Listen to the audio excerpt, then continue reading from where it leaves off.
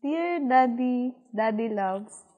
Today is the most special day of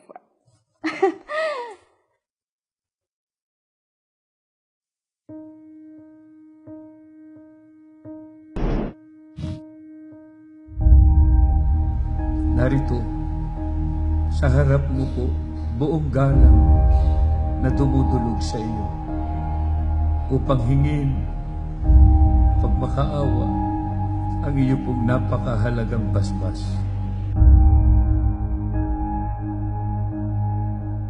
O siya. Sige, Michael. Start ng panibagong buhay. Basta lahat ng sinabi mo.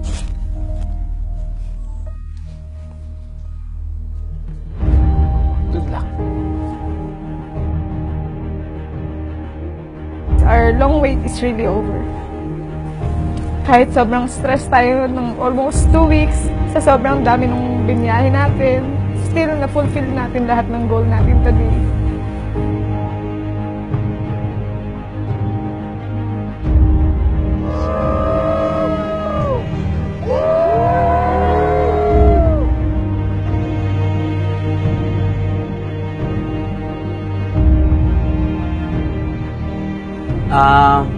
Sa dami din ng pinagdaanan namin, preparations, pagbuo ng ideas dito, yung fulfillment namin na matutupad yung one of our biggest dreams. Ang sarap lang sa pakiramdam, no? Kasi who would have thought na nag-umpisa lang tayo sa simpleng tuksuhan. Pero ngayon, magkakasama na tayo habang buhay. Dapat po nating alalahanin kung gayon na ang pag-aasawa po ay itinatag ng ating Panginoong Diyos para po sa kapakinabangan at kaligayahan ng mga taong kanyang nilalang. Itinuro din maging ng ating Panginoong Kristo na sa pag-aasawa ay pinagsasama ng ating Panginoong Diyos ang lalaki at ang babae upang maging isang laman lamang sa paningin ng may kapal.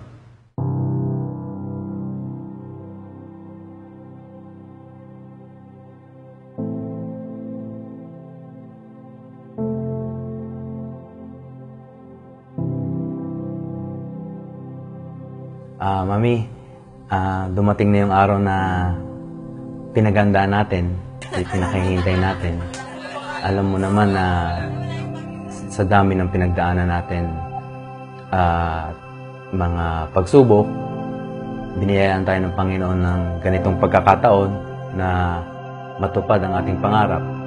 Ibigay niya sa atin lahat ng mga kahilingan natin na dito tayo maikasal sa Pilipinas with our family. Maraming tao yung nag-akala na hindi kami tatagal. Doon ko patutunayan sa kanila na mag-work yung relationship natin hanggang sa tumanda na tayong dalawa. makamit natin lahat ng pangarap natin, magkaroon na tayong pamilya, para may handog natin sa Panginoon, and mamahalin kita mo. I love you so much.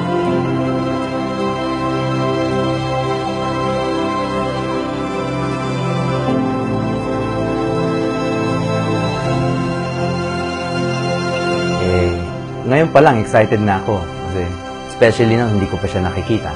So, most probably, stand ako mamaya pag nakita ko siya. Dahil ah, makikita ko na siya dun sa kapila.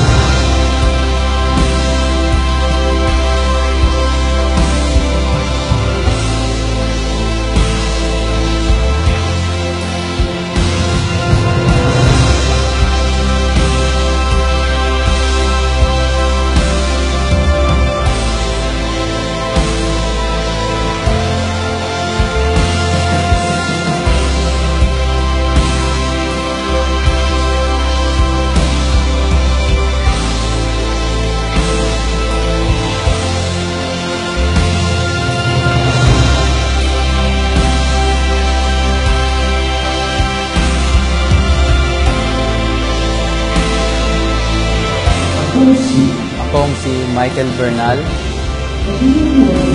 Ay kinukuha kita, love ni May Estela. Na maging aking tunay na asawa. At ako ay nangangako at nakikipagtipan sa iyo